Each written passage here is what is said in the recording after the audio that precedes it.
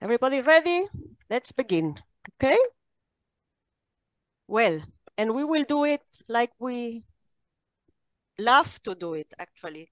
We will say to everybody, Shalom. Shalom Alechem. Shalom means peace. And Shalom Alechem, you know, it's our wish for peace for everybody.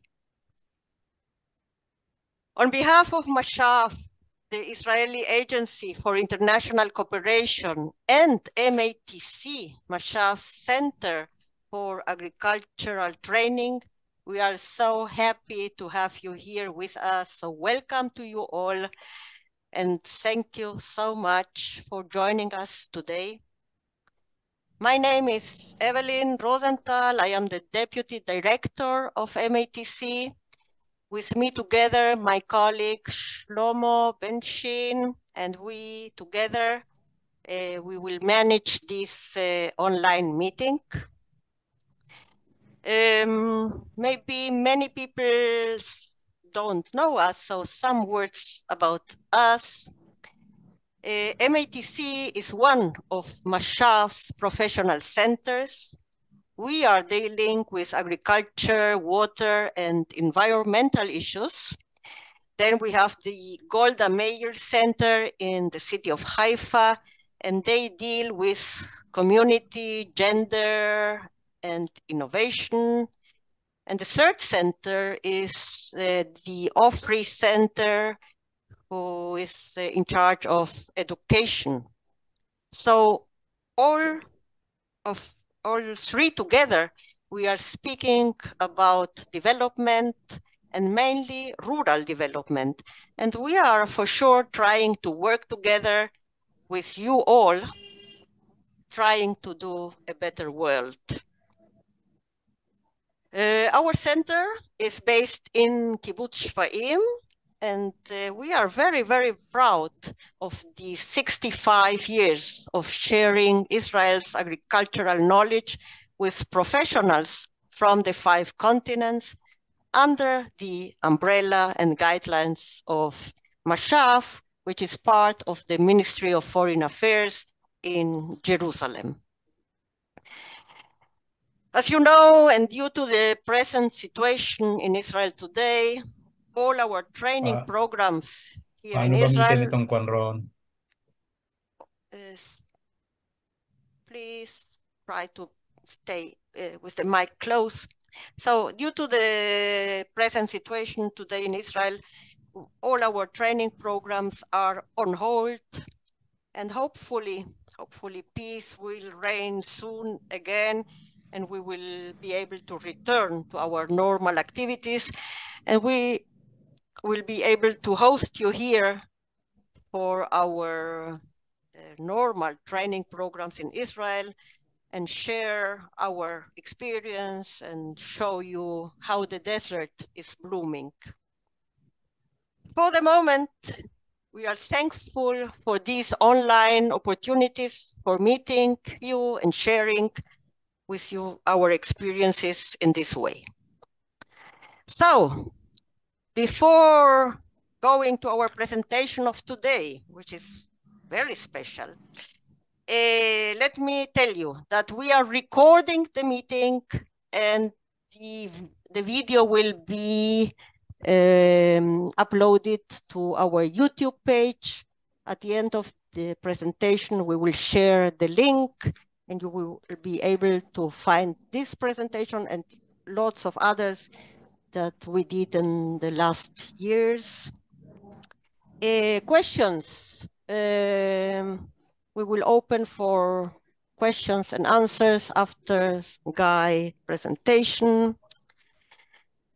Um, and let's go, let's go to our professional meeting of today. And let me tell you that um, we are very happy to continue the discussion about pest and disease management. We began last week with a presentation uh, by Giora Tesler uh, introducing us about uh, pest and disease monitoring. The video is already in the YouTube page. And today we are very, very um, honored to host Guy engineer, uh, Guy Sela. Um, let me tell you something about Guy. Guy is an entrepreneur and expert in agriculture. We know about his significant contributions to advancing sustainable farming practices and technologies. As the CEO of Yields Up, an artificial intelligence-based crop management platform, he is at the forefront of integrating artificial intelligence with agriculture in order to optimize farm management decisions. His leadership in the agricultural sector has led to development of innovative solutions that aim to increase efficiency, productivity, and sustainability on farms worldwide. It's now my pleasure to invite Guy to introduce us to this interesting new era of artificial intelligence applied in agriculture. And Guy, the floor is yours. Wait, I have to uh, give you uh, in. Yeah, now you can hear me, I guess. Thank you, Evelyn. Um, yeah, to allow me. So, uh, yes, nice to meet you all, everyone.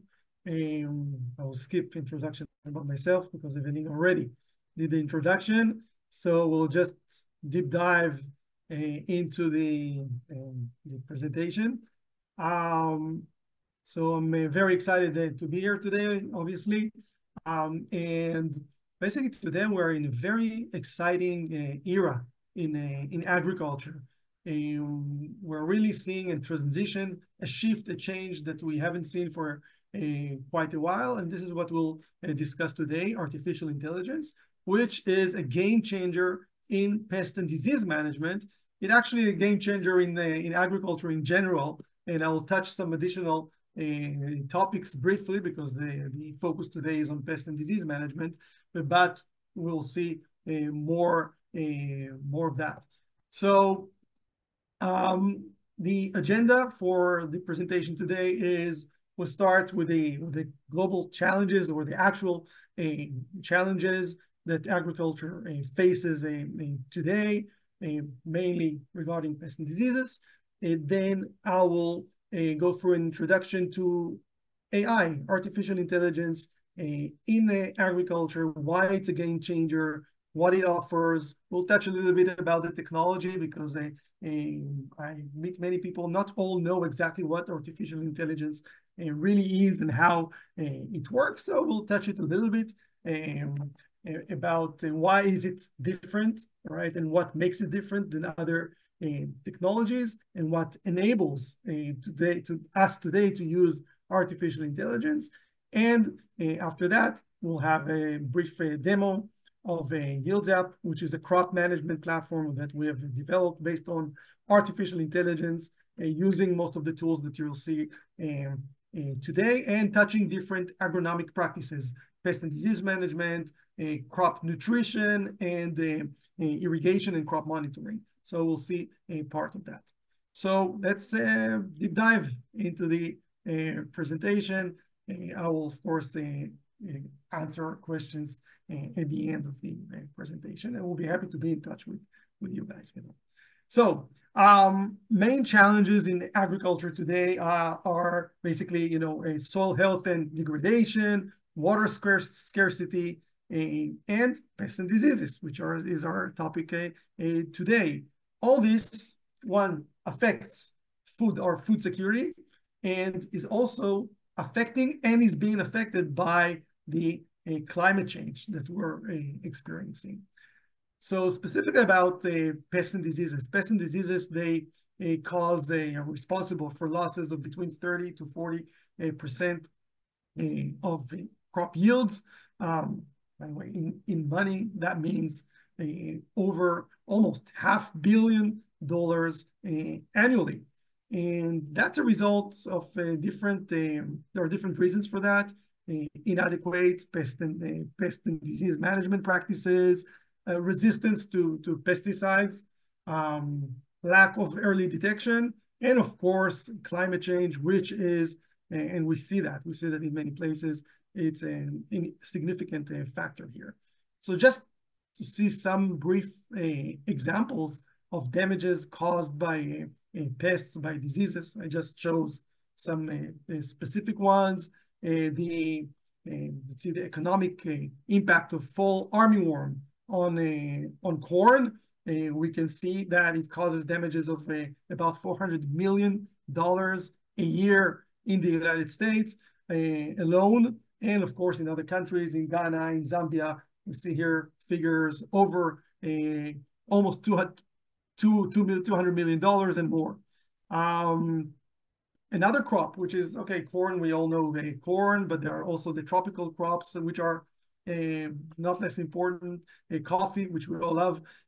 Uh, so the some countries reported over 96% damages, crop losses, not on average, but there were incidences due to the coffee berry borer, which is a kind of a bill that actually penetrates into the coffee bean when it's still a, a soft and actually uh, completes its life cycle within the, the coffee bean, the coffee fruit. You cannot see that on the uh, image here, but uh, on the picture, but it digs a small hole, drills a small hole in the fruit and completes its life cycle within the, the fruit. And of course, is responsible for substantial um, damages in the different, different countries.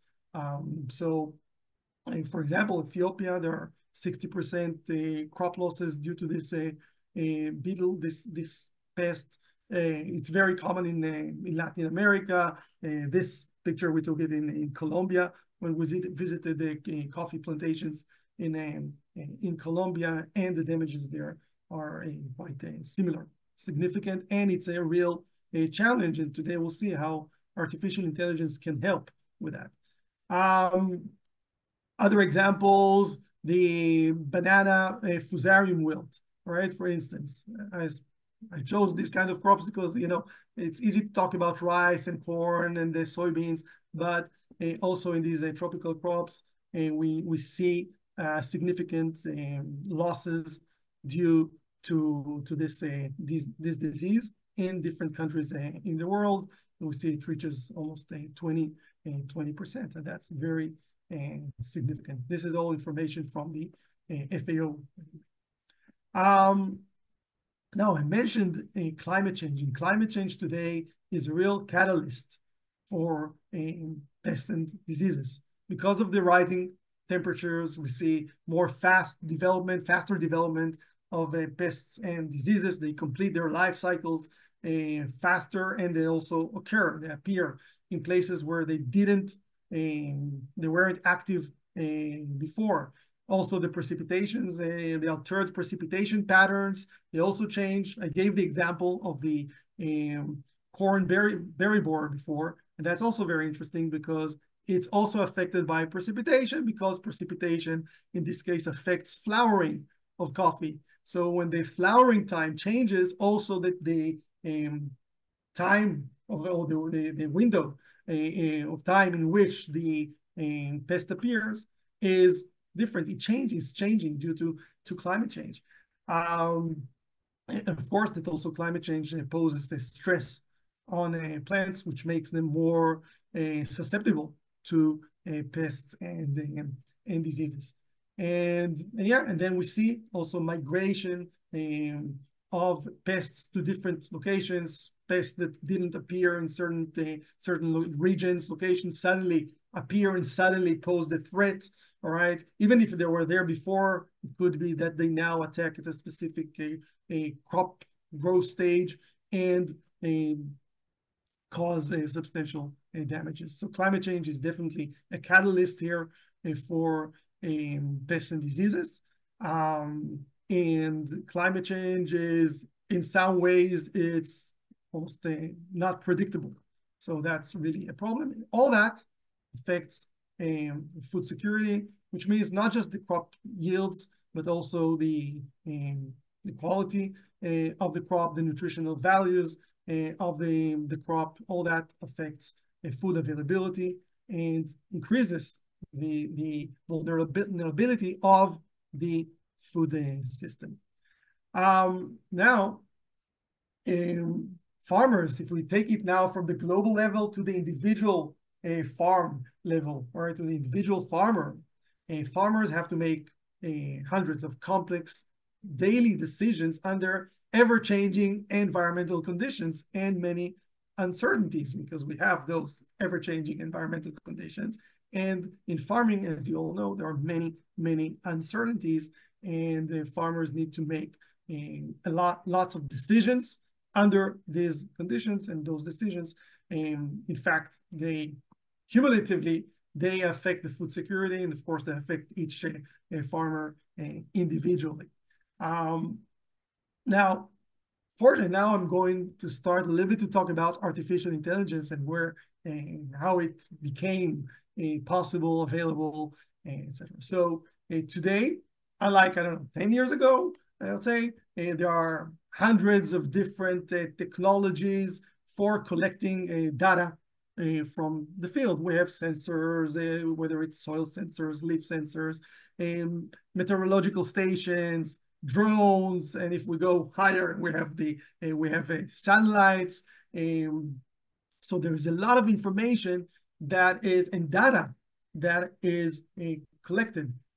On the other side of the spectrum, we also have very good technologies today for uh, applying uh, inputs in a very precise manner okay, fertigation systems, automated fertigation systems, um, GPS uh, guided machines and tractors, um, variable rate fertilizers, variable rate uh, pesticide application, and all that. Uh, drones, of course, that can uh, apply uh, pesticides or any other products uh, to specific areas of the of the field.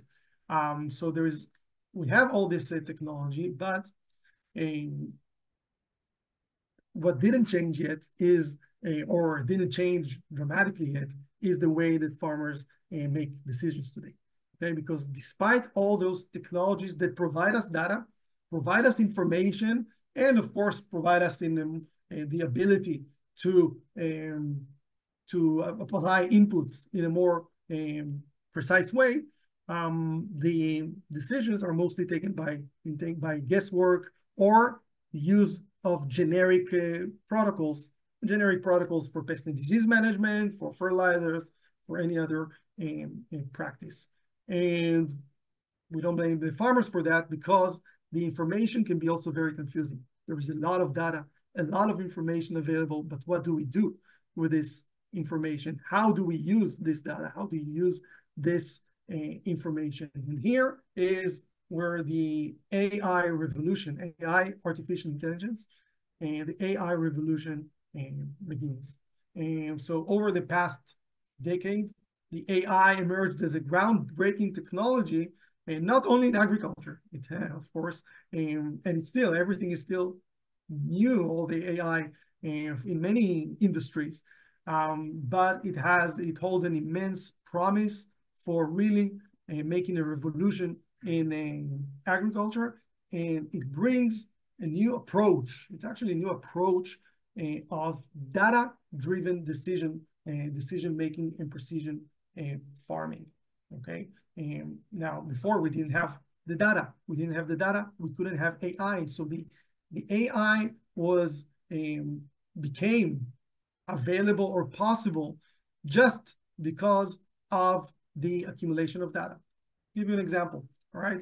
As Evelyn mentioned, I'm in a, a AgTech and entrepreneur in AgTech, and I started my first company, I think it was 2008. All right.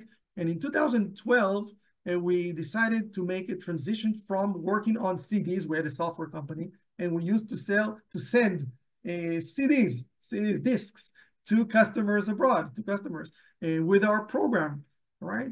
And and actually then we decided in 2012 to put everything on the cloud. Okay, this was a new word there. Okay, make it on, do it on the cloud, especially in, agri in agriculture. And everything became online, right? But what happened then by the way, is that our sales dropped from significant sales to zero, almost zero. Nobody knew what is, no, nobody understood how it is in agriculture, how it is to use a software online. And many said, hey, we don't have internet on our farm, so we cannot use it, right? So there was a period of transition here. Um, and I'm talking just about 2012, 12 years ago. 12 years ago, um, there was almost no, no option, no possibility to collect a large amounts of data. All right. And so that's why it's so exciting today. And it's even new where the, where the data is actually available. So um, I'm only 50 years old and I still remember, I still remember the thermometers in the greenhouses where you measure temperatures or we went with cameras and films and we're making records on, the, on papers um, in the field, you know, as agronomists, as farmers. Then there transition into data loggers, Excel files, digitalization of all the process, okay? And once it became uh, digitalized, uh, we say, all right, now we can collect data. It's not yet enough, right? Because if the data is not on the internet, on the cloud, if you cannot collect, collect it massively from really practically thousands or millions of data points, farms and everything, then of course, artificial intelligence they could not rise. Uh, but since the internet connectivity became a, reality uh, in most places today, right? Um, then this enabled the what we call big data. Big data, the collection of large data sets, large amount of data from different parts uh, of uh, the world. And this enables us to create the AI, the artificial intelligence and, and technology. And this is actually what's happening now also in agriculture. Um, so what is AI? We say AI, artificial intelligence, it sounds very nice. It sounds very interesting. Now we know that it needs a lot of uh, data. Uh, but in fact, AI is not just one technology. There, It's a set of technologies uh, that we use. I'll give some uh, examples here. Uh, one technology of artificial intelligence is machine learning. Machine learning is actually, and we'll see an example for that. I'll try not to be too technical on that, uh, but where we train algorithms, pieces of software, to learn from, to learn patterns from big data, okay? And based on that, make predictions and decisions. That's one domain of artificial intelligence. Another domain is computer vision. Computer vision is teaching computers, and if you think of it, it's, it, it, it's astonishing, it's amazing, to interpret and understand visual information, to look at an image, at a picture and say, okay, this is what I see, the computer. The computer can say, okay, this is a dog, this is a cat. This is, if we go to pests and diseases, this is a certain pest, this is a different pest, or this is a certain disease. This is a different disease just from an image that you give it. Um, so that's another domain of computer vision. We have the NLP, which is the natural uh, language uh, processing, where uh, it actually enables us or computers to interpret human language. And if, if you think of it, it's not something simple, uh, of course not for a computer, because we have different accents, uh, we have different uh, pitch of our voice, so different voices, and we, we all sound different. So how do you teach a machine to understand all that? So that's another domain, important domain of a, of AI. Um, and then we we we have the robotics where we actually um, if we before you know we have robots we can tell the robot okay do this do that or give him uh, give it uh, specific uh, tasks but now with AI we can create autonomous uh, machines that make decisions while they work, right? And can change. They're not just getting specific order, specific in instructions, but they can actually make decisions uh, using other uh, domain like machine learning, uh, NLP, computer vision, and all that. Um, and the last aspect here is the predictive uh, analytics which is an important uh, part of uh, artificial intelligence. And here we're learning, or we're, we're letting the machine, the computer learn from historical data and based on that, make predictions about future events or trends in the uh, data. And this, of course, takes us now to, to pests and diseases, where we can predict the occurrence of pests and diseases. We talked about climate change. We'll see all that. Um, so before I go to, you know, now we, we went a bit technical about uh, artificial intelligence, uh, and I'll get back to agriculture in a second. But just before that, just to explain, uh, briefly explain uh, one aspect of the of machine learning, okay, which is the neural network, and it's called neural network because it's like in our brain, basically. It's very similar. And the way it works is that instead of have of having an algorithm, a software algorithm that with with rules and, all that, we have a we have a set of a lot lots of small pieces of algorithms which are called neurons that transmit data from one to the other in layers where there's the input layer, there's the output layer. But what's interesting here is that each small piece of algorithm has its own like character.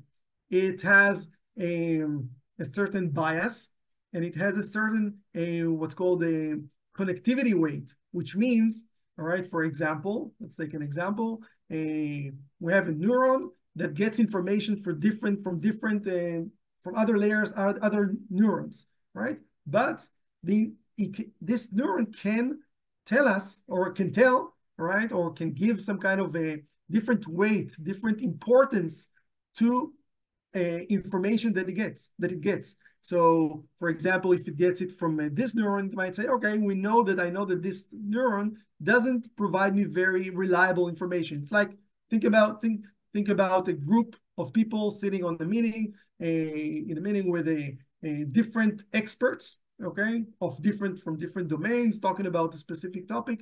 Each expert, if we want to make a decision, we say, okay, this expert is expert uh, for irrigation. So if now we want a project about irrigation, we take uh, what he says, but uh, we also have another expert that is talking about soils. It's important for irrigation, but the weight of um, his, his input is might be less, for, for instance. So this is how it works. This is how it creates like a process of almost, I would say, thinking, okay? So that's just the touch. But the interesting thing that it learns, it, it, we train the algorithms. The algorithms are being trained because we compare the input with the output with actual data from the field. So we make, it makes a prediction uh, and then it starts correcting itself based on uh, information, additional information that we feed into it. All right. Uh, that's all about the technical things. I will skip this one and let's go to deep dive into agriculture and pest and disease management. So what are the um, applications of AI in, a, in agriculture? We have different applications, of course. Some of them I mentioned, um, like the AI-powered precision farming, which are the uh, machines we'll see in a second, a crop monitoring and pest and disease prediction all right, in order to um, treat well in time with the right products, specific pests and diseases, uh, or with the right uh, practices, okay? And we need to be able to uh, predict the occurrence of the pest and disease and to act before it's too late, okay? Um, also, weather and climate forecasts, extremely important. Um, autonomous vehicles and, and robots, and and then we have the yield forecast and traceability. Imagine that we can now know at certain, before the season ends, we can already tell what the yield will be, okay? What quality we will get. It's possible today, all right? And not easy, but uh, still possible because there are always changes. And of course, the AI-based decision-making, this is, this is what we do in YieldsApp, actually making decisions based on using AI. Um, so let's see here some um, examples. Uh, we have the AI-powered AI-powered precision farming, where, by the way, precision agriculture, I will not go into too much into terms here, but it refers to a very specific domain in agriculture of applying inputs to specific zones in the field. So precision agriculture um, talks about actually making creating zones within a large field, all right, and applying different rates of inputs, whether it's uh, pesticides, fertilizers, seeds, to different zones um, in the um, in the field. So now with AI, what we can do is collect data from uh, multiple sources, um, whether it's sensors, weather stations, satellites, historical records from the field, and based on that, create the zones, right, the zones within a large field, right, and apply um, specific and precise rates, right, um, to each zone individually within the same field, okay? And of course, we'll see the machine is capable of doing that because the machine is also operated and and this is the precision agriculture what they can do. So, we, but what we can do with AI, right? We can also use it to learn and optimize this zoning, how we create the zones, where to apply more, where to apply less. The machine, the the algorithms learn it uh, themselves with time. All right, like I think you know and machine learning is like, I don't know, like a baby. Okay, you have to teach it. You teach it. You teach it. It takes time. And then it learns. Okay. Eh, as much as you have, you provide more information, more data, it learns better. It has more knowledge. This is how it works. Um, so here is an example of a of zoning, creating different zones and applying different rates of pesticides, water, seed, whatever, fertilizers. Um, Another application is the crop monitoring. Okay. Um, now, yeah, we can take uh, satellite imagery and look at it today. By the way, at this moment, I can access practically any field in the world and get tons of information about this uh, this field, even for free. All right. Um, I can know when it was planted. I can know what's the status of the field. I can know what's the status uh, of, of the crop in terms of a, a water content, in terms of a, a biomass, um, a lot of information, a lot of information that I can instantly get about practically any field in the world today, right? Um, and, it, and it's truly amazing because you just draw the field in the map, you get all this information in seconds, in seconds, um, including the history of the field. Um, okay, so that's nice. But now where AI comes into play here is by analyzing all this amount of information and enabling better decisions. All right. Now, if you think about it, with the AI today, we don't even need a hardware, software, sensors in the field. All right. There is a lot of information that we can get without even having sensors and in the field. Um, so the AI processes the data in real time and provide the farmers with real-time insights and recommendations. For example, early detection, detection of pests and diseases.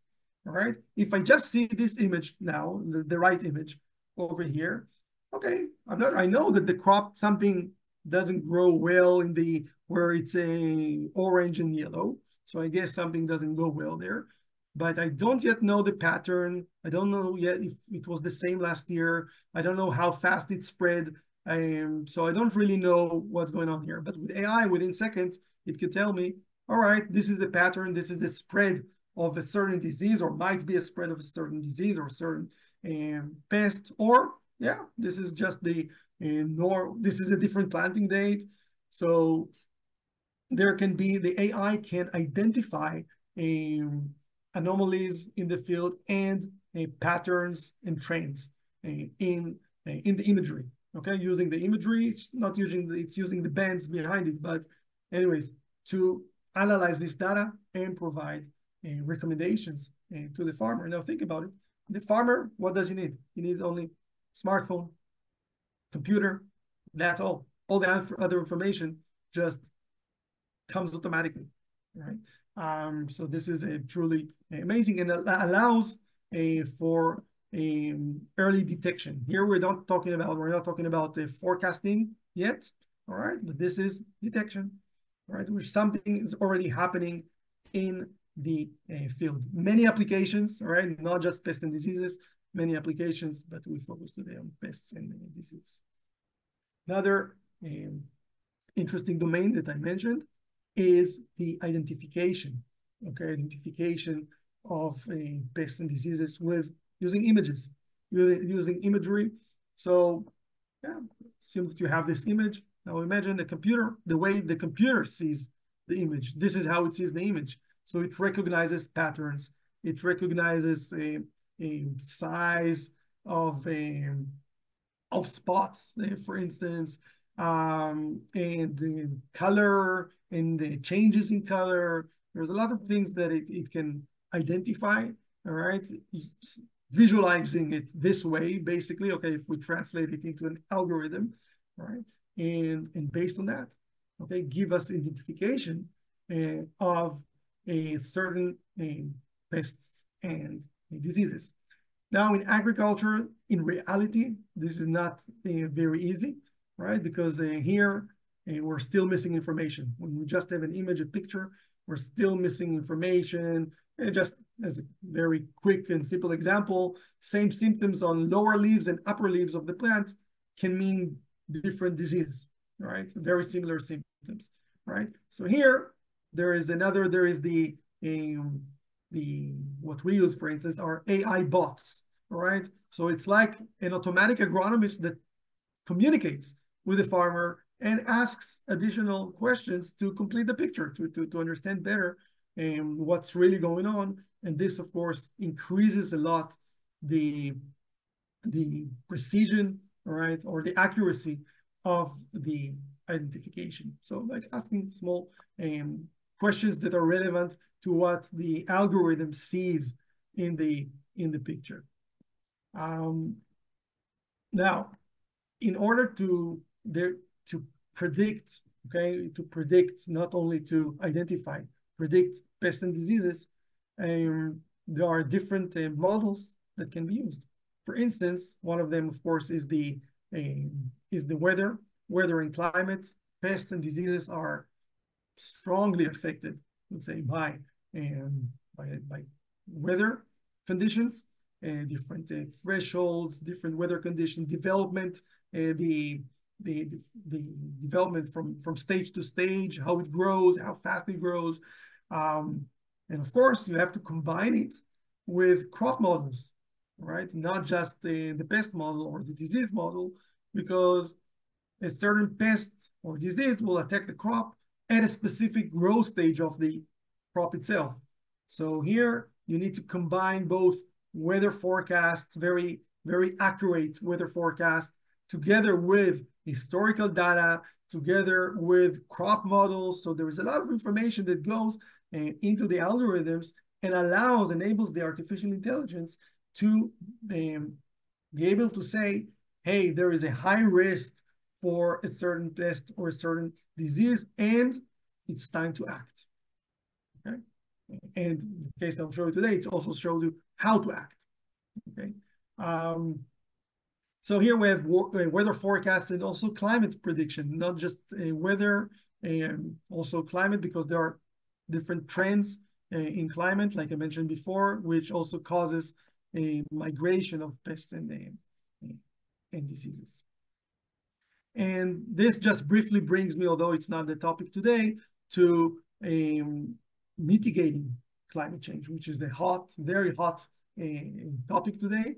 But if we reduce pesticides, if we reduce uh, fertilizers, um, if we reduce inputs uh, on the farm, if we plant at the right uh, time, if we achieve uh, our yields, this all, if we manage our soil properly, um, this whole all helps in uh, mitigating climate change or at least alleviating uh, its, its, its effect and reducing carbon footprint of the of the farm just a quick uh, mention here. Um, now, I already mentioned the, the robots that uh, we can see different examples. I think that this one, for instance, can identify, it uses um, the image recognition to identify weeds, right? So it, it can say this is a weed and this is the crop and spray or uh, kill just the weed, right? So it goes in the field and just kill the weeds and does not damage the crop. And that's instead of spraying the entire uh, field. Now think about the impact of uh, such a thing and think about how smart this robot is that can identify uh, while it's in the field, can identify the weeds, and not only that, also apply the right rate of um, herbicides, for instance, um, to, to eradicate the, the weed and without harming the, uh, the crop. So there are many today, there are more and more such uh, robots and uh, machines, uh, autonomous uh, vehicles, they do different uh, tasks. Even the drones today, they can use do different uh, tasks. And again, AI was not yet fully adopted, right? So today we see lots of these technologies, like we can see the or the the potential, right? Even with drones, okay.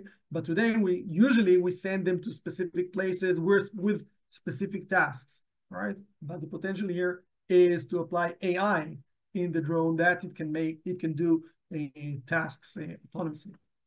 Um, now, another way um, to control, manage pests and diseases is by crop breeding, creating crops that are more um, resistant uh, to pests and to certain pests and diseases. Very common practice, by the way.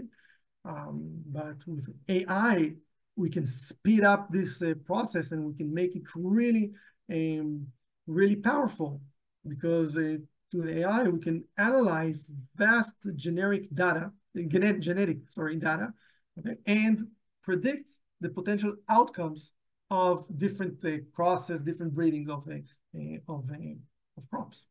And so this helps the scientists to actually um, create pest and disease resistant resistant crops. And, and this brings me to decision and decision making in agriculture, which is in this case our domain in, in YieldsApp, where we developed a platform that actually takes the data, right? And, but not just telling, hey, we have a problem, but also tells the farmer um, what to do, okay? And we call it dynamic protocols, okay? Instead of the generic uh, protocols uh, for a pesticide application or uh, any crop, any pest and disease management in practice. And it actually guides the farmer on what to do and, and when. So it's in fact, it's, it promotes sustainable agriculture, and it reduces uh, the risks and of course all the benefits for the yield and for resource optimization, reducing pesticides, reducing chemicals, um, and still being efficient and still being uh, productive. Um, so here, basically, I'll, I'll, show you how this uh, works. Um, and this uh, platform, uh, it's in fact, it's not just for pests and diseases today. It's a platform that encompasses uh, most of the agronomic uh, practices. It includes pest and disease management. It includes um, plant nutrition, fertilization, um, greenhouses, hydroponics, open fields, large crops, uh, broad acre crops, all that. Um, and uh, crop monitoring, and also we also introduced now recently uh, irrigation, AI powered uh, irrigation, which is very interesting. So how does it work? It actually uses what we discussed before. We use different layers of, of data, okay? Some of this data comes automatically. Satellites, weather, and soil maps, right, and integration with the different uh, devices if necessary, okay? Um, but it also uses, remember we said we need to teach the algorithms in AI, right? So we have a very large layer of agronomic data, which includes a lot of research data that is uh, analyzed uh, through the system, agronomic uh, databases, um, all this information about the, for example, um, active ingredients, their properties, all this information. We teach the algorithms, we give it the information, and then it already finds the trends, it finds uh, the correlations between uh, everything and optimizes uh, the entire um, operation and creates the dynamic crop protocols. And it also allows uh, input of um, data that is usually not used in a, in technologies and systems like soil analysis, scouting data. Okay, what we found in the field, right? So the farmer goes in the field, he found some problems, some issues, and he want he records these issues. This all goes into it, it all teaches the the the algorithms. Um, so different uh, farm uh, input data, and this all goes through the um, AI algorithms. Some are AI algorithms, some are not, right? And to generate this the, the crop management uh, decisions that uh, later gets to the farmer or to the machines, okay, in large uh, fields directly to the machines. Um, because we also work with the larger organizations, we also have aggregated data. Okay, for example, think about food and beverage companies. Think about extension services uh, of um, of uh, countries, right, or regions within a country that can get all the data, have a visualize the data, and but not only that, also assist the farmers in a, in a very uh, fast and effective uh, effective way.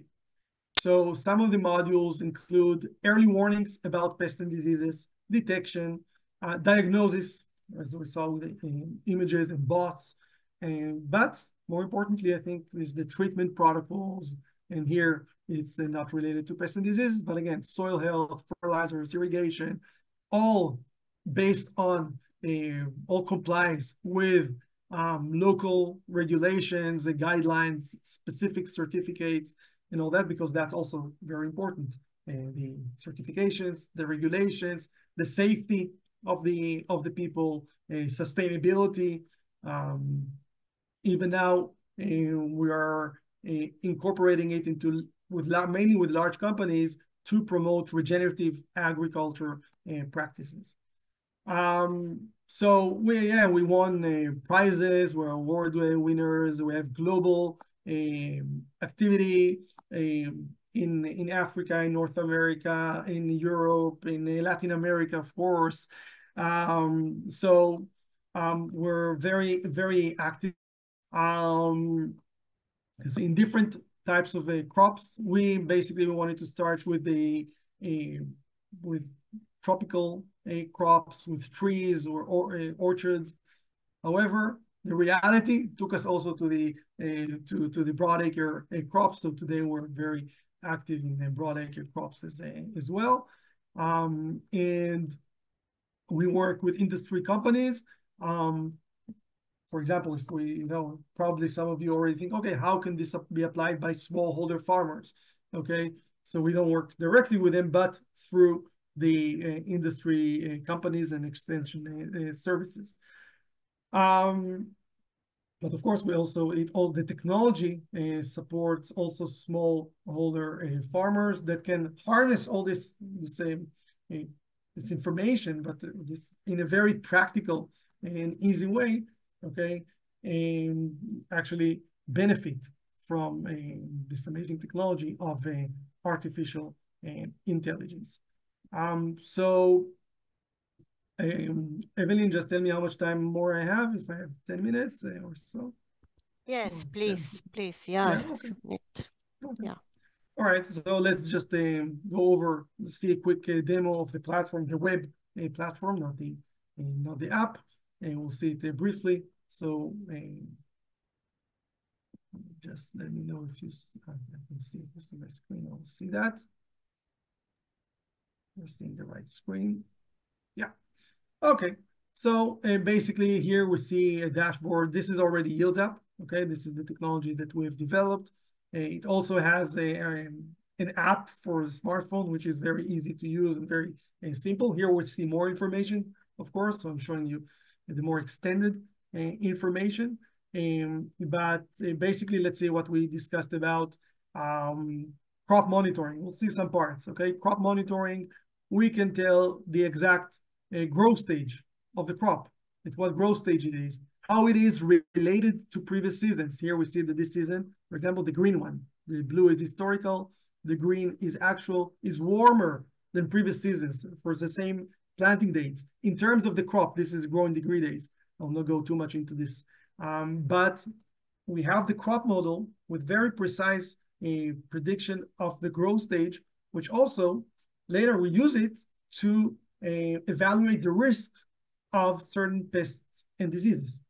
Okay, so over here, for instance, it already gave me an alert, okay, about a potential risk of a, of a pest, of a, in this case, European corn borer. Okay, so the system already tells me there is a high risk for this pest in the field.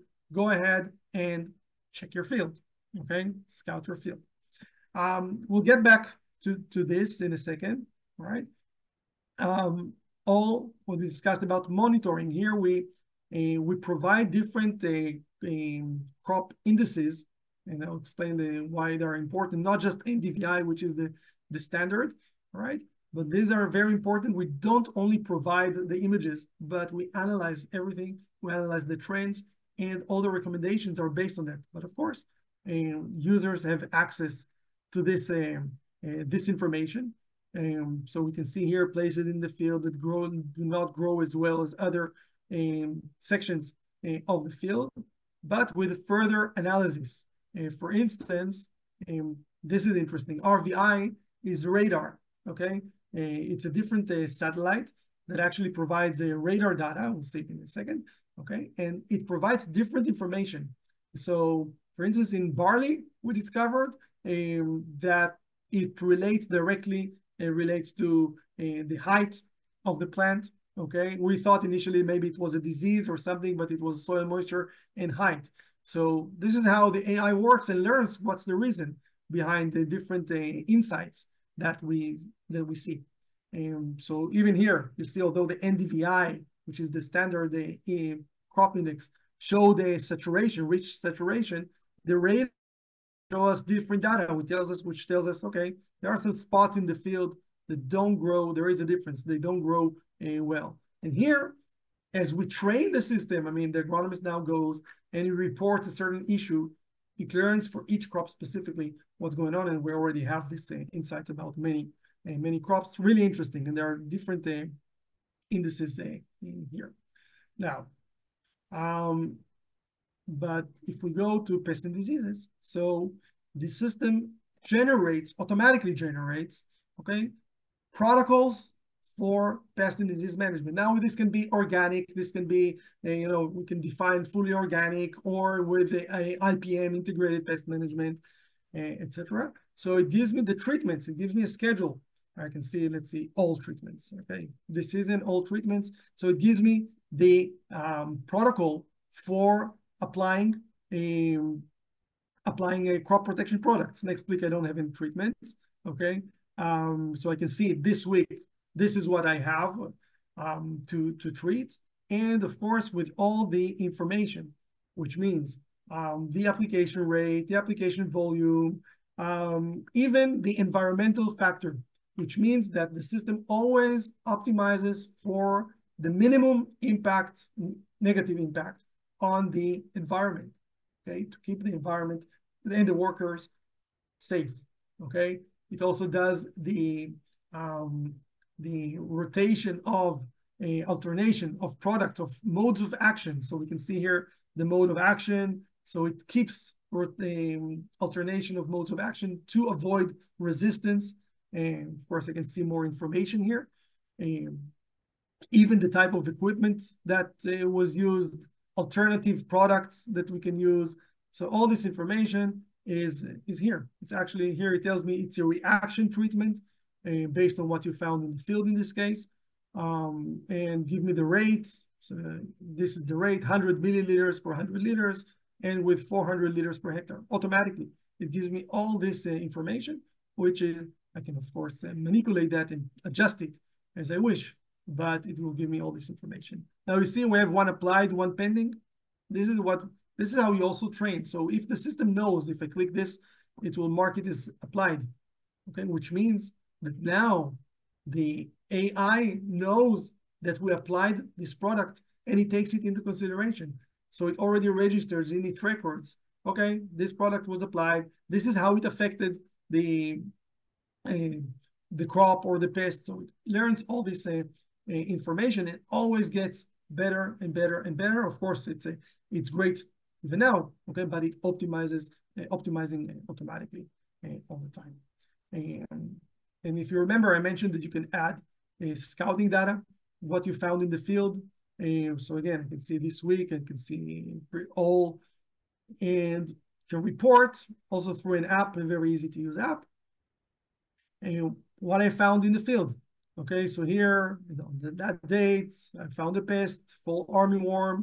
I even uploaded an image, okay, which also, it's being automatically analyzed, all right? So we have the images from the field, we have what was found, we can even tell the farmer, hey, you're wrong with your, uh, uh, what you think it is, okay? So with identification. And what development stage was detected, in the field. So this is a farm input, farmer input that is can be used in the system. So um, we have all that um, information um, here. And as you see, it's really uh, protocols that later on can be um, printed, right? And it's a season protocol, right? Uh, per season, per week, you can see all this uh, uh, all this information and manage the different uh, fields and it's created automatically, which means if I'm going back to the overview, okay, on the overview, it in a very straightforward way, it tells me your next treatment is on February 22nd. This product, it knows exactly which products are available in each market. Of course, each user can uh, make products available or not available, whatever. Um, it tells me automatically what are the pending activities, okay, on the field, what I need to do next um, on the field. And so here I created just for uh, pests and diseases. So you can see um, we have all the forecast AI-based uh, calendar, which is which is actually generated automatically. But of course, you can add activities, um, treatments, beneficial insects, you name it. Different activities can, that can be uh, that can be added um, over here. Um, yeah, and here with the water balance, temperatures, and all the same, all this information. Um, so also, I mentioned compliance certificates. Okay, it all works according to uh, you select the certificates, you select the, the regulations according to which you work. The default is the country where the field is, so it takes the country. But in addition to that, and there are different certificates and um, regulations that we can uh, add. Okay. Um, I can show you in a second, I'll show you the like what we call the back office, where we manage data from, just briefly that you understand. This is not the AI data because AI data cannot be presented in the UI. Okay, AI data is just the results, right? What's inside is like almost a black box. But I can show you uh, some uh, uh, biological models, for instance, for pests and diseases, which are used as the baseline for the artificial intelligence, right? Um, and before I show you that, just to mention here, of course, is a, the system includes different uh, practices. It's the uh, all the field tests, uh, soil, not just pests and diseases, uh, soil test results um, can be uh, uploaded here with the location. Um, it will interpret the soil test results. It will give you the, um, put some values here, the values, okay? A, it will give you the interpretation and based on that, create, generate, okay? A, and as you know, everything is related. Pests, diseases are related to uh, sometimes to the soil, of course, to the weather, of course, to the crop monitor, to the crop uh, um, model and growth, of course, to irrigation and all that but it also generates uh, protocols about fertilizers, exactly which fertilizer to use and when to use, at what rate to use, and, and, and so on, including for greenhouses, for irrigation, cost optimization. Um, yeah, so just before, as in last two minutes, okay, I'd like to show you here uh, what goes behind, what's a crop and what's a disease okay? Or what's it, let's see some, some properties, okay, of uh, crops, diseases, etc. So let's see a crop in the system. And again, this is not uh, for the farmer. This we manage this uh, information, and this is information is used as a baseline for the AI, which takes all the real-time information and integrates it with the research data okay, and with this data that the agronomic data that I will show you, and based creates the dynamic protocols. So a crop, we have a crop model, exactly what the temperatures, uh, how it grows, um, the, the, the crop model, the development of the crop, um, what pests of diseases, all right, to which pests of disease and disease it's susceptible, okay? Um, so here we have a long listing in, in corn. Uh, now, each of these has a model, right? Many of them have both biological model and AI model, and some have just a biological because we need more, um, more information. At which growth stages of the crop it can attack it. So this is how we manage our basic uh, data here. Um, nutrient uptake curves, all this information about the nutrients and all that. Pest uh, thresholds. And now also, um, let's see what's a pest or a disease. Um, so if I take certain, uh, see this one, second, images. So, um, um, yeah, let's take an anyway here. So we have those diseases. Okay, this is a disease, for instance, where it is active, um, the biological model of the disease, all the information about that, pests in a similar way, okay, depending on the um, pest itself.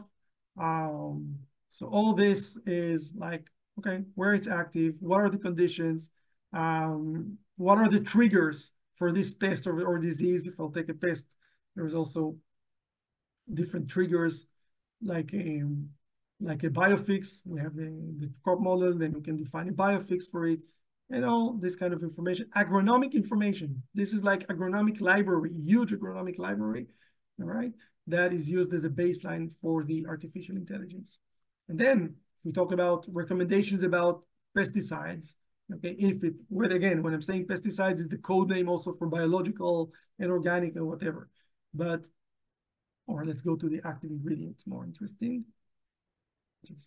So an active ingredient is actually here. It includes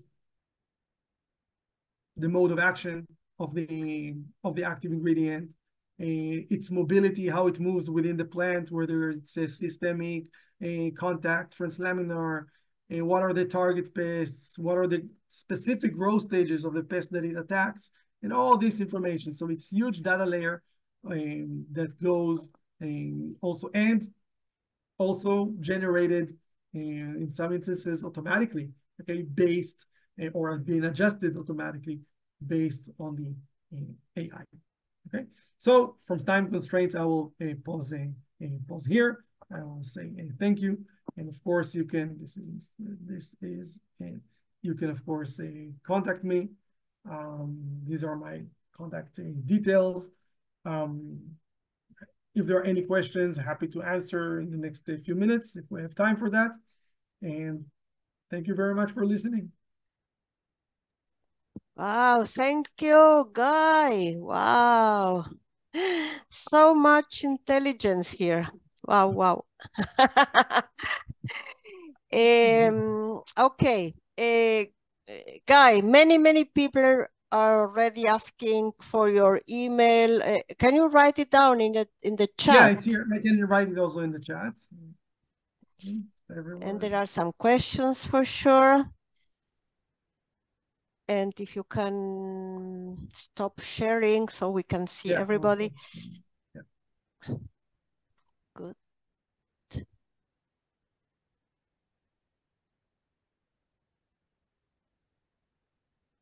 Um, yeah. Um, Guy. I can uh, see the questions. If you want me to review them or you want to... to, to ah, if you can see them, yeah. yeah there are questions about questions. costs.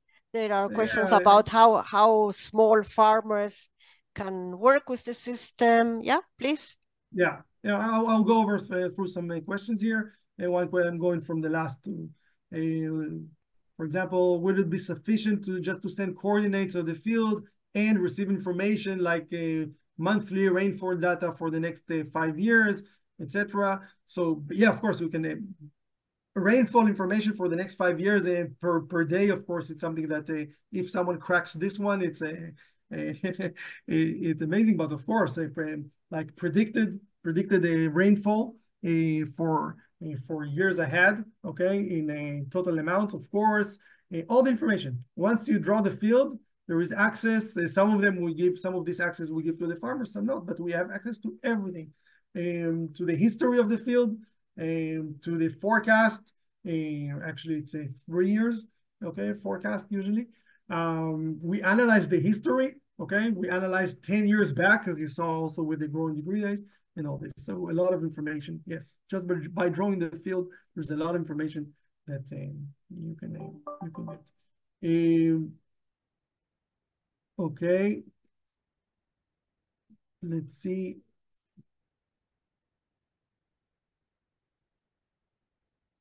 Okay, someone's asking why it's giving four times the, the ECB. It's not giving the four times. It's giving the um, the rate, by the way, the basic rate rates, depending on the product. So the actual rate will depend on the product that you uh, that you use. Okay. Um, okay. Okay. Now a question about smallholder farmers, which again I I, I predicted this question. It's this question that comes in and comes up a lot. Okay. Yes, it's applicable for small farmers. We do not work directly with small farmer, older farmers. We cannot do that, of course. Uh, however, okay, we we do work with smallholder farmers, all right, uh, through the companies, through the extension services. Okay, so um, there are companies that um, either acquired the technology or provided to the uh, farmers, uh, extension services that did that as well. And through that, it goes to the small holder a, farmer. Um, we give uh, support and, and everything. Um, and the technology is um, was also adjusted for the smallholder farmer. So we have a nice app uh, which uh, smallholder farmers can um, can use just with the relevant information uh, for them. Um, okay, let's see if there's any other question.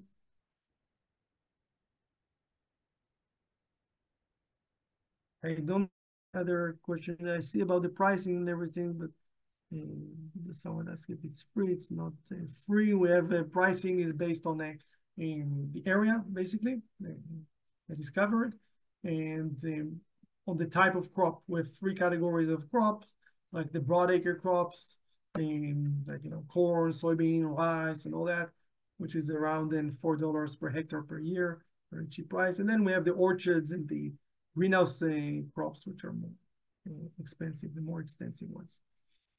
Um, let's see. Guys, someone is yeah. uh, Ray, Reginald. Reginald is asking about languages. What languages? It? Okay. Yeah. So we can easily first right now at the moment uh, the the the platform is available already in English, Spanish, um, Portuguese, and French. Okay. Now, any additional language we can add in a matter of, uh, it is uh, very easy. Okay. We, we, it's all built in a way that it can support any language in a very, um, very fast. Within a week, we can support any new, any additional language, even less than a. Um, I think um, yeah. Wow, there are a lot of mm. questions. I don't think we will have time for yeah. all the questions. What we can do, I suggest, Guy, is uh, I can make a copy of the chat okay. uh, and send you the emails of uh, the friends here and right. try, you can try to answer some of the questions. But Philip, I, I understand Philip is very worried with the spraying. So can you reply, how does the app know if there is a need for spraying? Oh, yeah, this is the this is one of the major uh, features, of course. Okay, um, yeah, no, there are many considerations here about the, the need of spraying. It depends on the crop growth stage. It depends on the, the available products. It depends on the specific pest or disease and the risk for this pest of disease. I don't know if you noticed, but we have, there is some like prophylactic or preventative sprays, okay? And there are reaction sprays. It depends on sometimes on the threshold, on the economic threshold of the pest or the, the disease, which can be defined. It depends on the active ingredients. It depends on the um, the mobility of the active ingredient. It depends on the certificate, certification that that is that you need to apply uh, to apply uh, to apply to so um, to comply with. Sorry. So there are many, many, many considerations. Um, if I showed you the algorithm chart, it's a huge one, and then you have the AI, which is another black box. So so it's a huge um, uh, decision making. Okay. Um, so it analyzes the history, it analyzes fields around, um, lots of information. And then it decides on a, a spray and gives you a recommendation for the product to spray, right? or the active ingredient or the product. Um, and then, of course, also cost optimization. The rate will depend also on many factors. The rate will depend um, on the growth stage of the crop, uh, on the severity of the pest or disease infestation. So many, many considerations come into play. Um, Guy, can can the uh, could the friends here uh, find more information in the in your web page? I see somebody here was very nice and copy the link of the web. Yeah, I'll send you another link. I'll send you another link or in the chat here because in, all right. Um, um, and so I send another one. And yeah, also feel free to register with us even for the webinars we do. Um, we do webinars on specific uh, topics and showing the platform. Um, so con connect with me and uh, you'll be invited also to to, to, to activities here and to additional demonstrations, uh, webinars. Wait, I, I don't see the, the link. Where did you put it? I sent uh, one of the comments. It's now with meeting. Ah, can you put it to, for everybody here? Everyone, ah, please. so it's specific. I'm sorry. Yes.